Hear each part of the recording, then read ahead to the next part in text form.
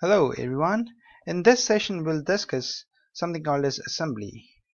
Uh, and what do you mean by assembly is basically it is a single unit of deployment. It's just the you know single line of definition. But, but this should be in quotes, this single unit of deployment. It's because you had seen program execution in .NET we had something called as dot .exe or .dll okay according to the compiler uh, and executed the project so we have output is in terms of .exe and that .exe that executable file if you copy it and paste it some to some other computer it will run. So .NET gives you a single unit. It means one exe for deployment can be deployed from anywhere. It doesn't need anything. So this is a single unit of deployment okay? So it is it, it consists of uh, collections of we can have a collection of data uh, and sorry collection of code basically collection of code and metadata. It consists of that. Uh, okay. And how many if, you, if I say uh, what are the assemblies in, in .NET uh, you can basically say there are there are two types not types actually but there are two assemblies that we can uh, we can say that that, I, that exist in .NET one is .exe another one is .dll well this exe is an executable and this is dynamic link library. Uh, this is not executable. This is something like it's just there.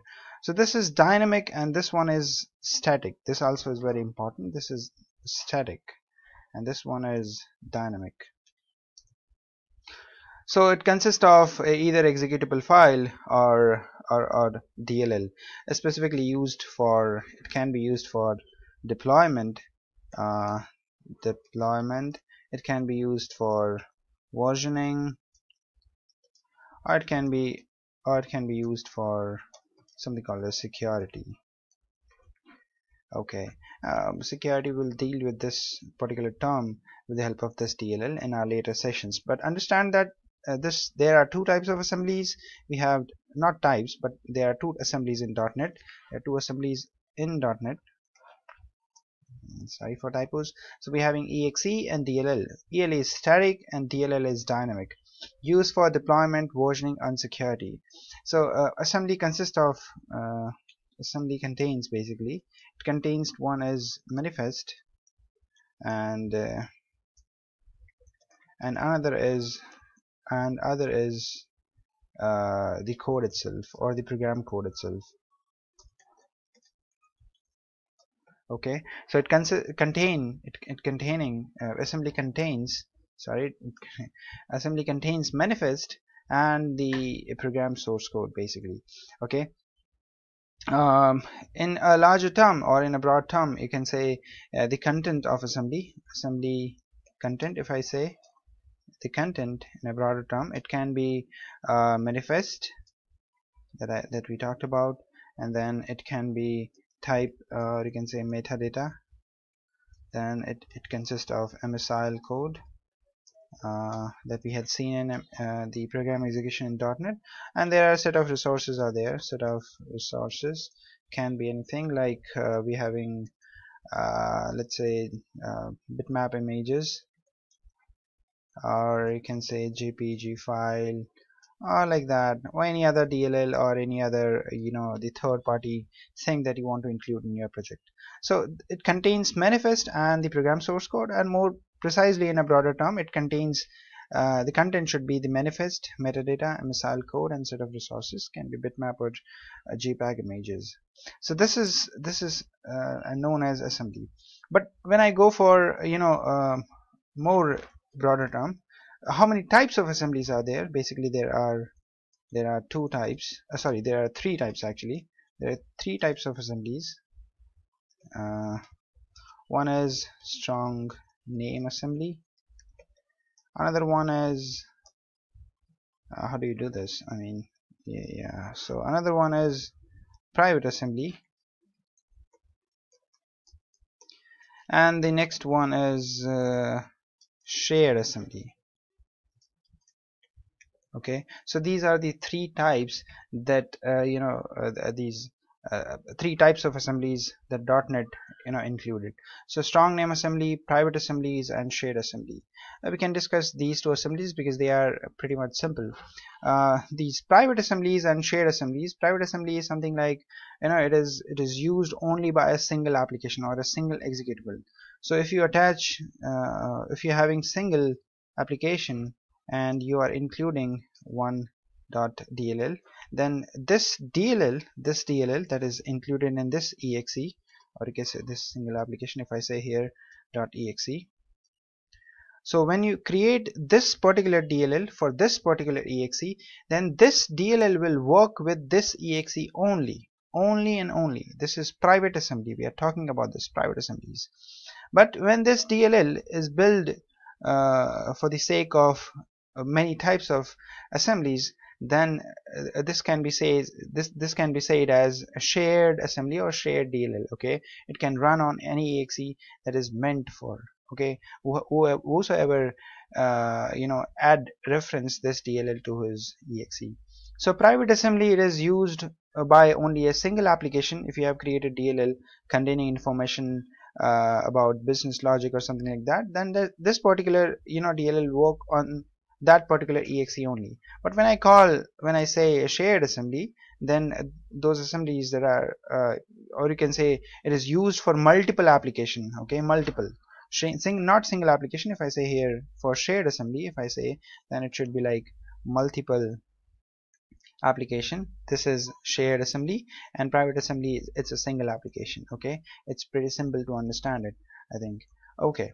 Now if we if we if we talk about strong name assembly this is somehow uh, I'll, I'll take this assembly in a very broader term.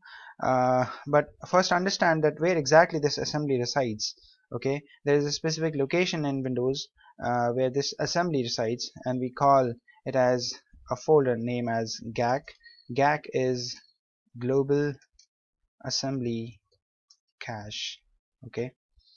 So there it contains th these assemblies this .exe and .el so if you go to this location uh, if you go to this location C then go to Windows and then go to Microsoft.NET and if you're having assembly and then specifically we having GAC32 GAC64 and GAC MSIL if we go to this GAC MSIL we can see there are many libraries. This is my actual library so there are many libraries. If I click inside you can see we having version 4.0 because we are using Visual Studio 2010 with .NET Framework 4.0 we having version of DLL that is 10.0.0.0 and this is a public key token.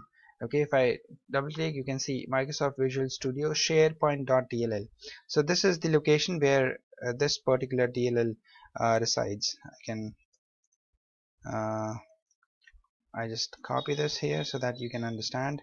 Just remove uh, this one.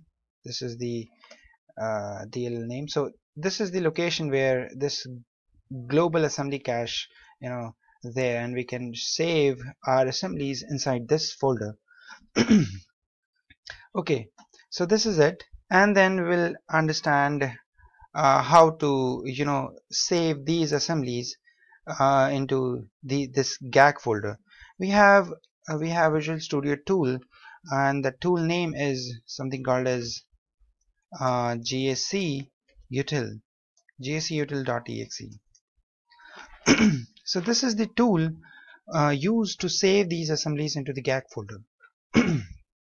Okay excuse me. I hope I hope you understand it that uh, this is the gacutil.exe which is used to save these assembly into this GAC folder. And, and now we'll understand we, we we seen private and shared assembly and now we'll understand what we mean by strong name assembly. So if I go for strong name assembly strong name assembly is basically it is it is a hash token. It is a hash token that contains uh, that basically contains you can say the assembly identity identity uh, in terms of uh, it is having one name that is assembly name. It can be having version number. We had seen this version number and then it also having culture and also the public key token okay? And sometimes it is having digital signature. So strong name assembly is, a hash token that contains assembly identity. And assembly identity what type of assembly identities? Can be name version culture and public key token. Okay keep that in mind that if you want to save your assemblies into the GAC folder the assembly that should be in the GAC folder is only the strong name assembly. You cannot save your assembly I mean you can save but you should the recommendation is something like you should save only strong name assemblies into the GAC folder okay? So in your GAC folder only the strong name assembly is going to be saved. And it is a hash token that contains assembly identity. And we, we can see this uh, identity by going to your C drive okay? I go to Windows and specifically they have in the assembly folder. You can see the assembly folder. You click there and you will see assembly name which is this one and then the version. You can see 3.0 2.0 2.16.0.0 this is version. And then we having culture. Culture it can be the, the language. You can see this this is in terms of English and then I think English is there. So the, yeah we having different types of languages here. So uh, these are JAKO Russian many languages. So this is basically the language. And they ha they have public key token in terms of here public key token different different different uh, you know tokens or you can say uh, the uh, public key uh, has been given and assigned to these uh, assemblies. Okay? So this is your strong name assembly so why this uh, strong name assembly is used? I mean what, what do we uh, get from this? Is basically it is it gives a security engine you can say the CLR and how security can work here is uh, as you can see it gives you the hash token okay? Now I hope that you understand what you mean by hash token. If not that's okay. Uh, but let's understand this. So uh, so you had definitely seen the program execution and program execution in .NET is like you're having one language or more precisely if I go and give you the image uh, program execution in .NET. Yeah. So we're having this and we take yeah this one I think this will work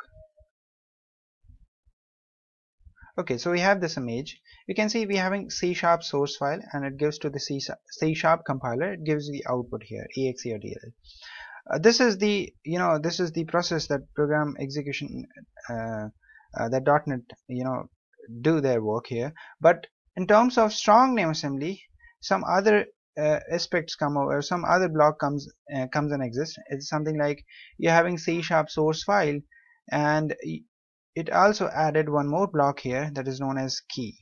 So if I go here uh, so instead of language here okay language is there but let's say you're having C sharp code but it's not only the code. We have to embed something called as key here or you can say the key pair pair in terms of public and private.